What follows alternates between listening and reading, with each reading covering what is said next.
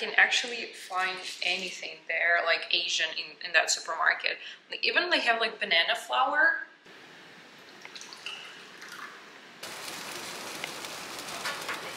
This is gonna take a long time.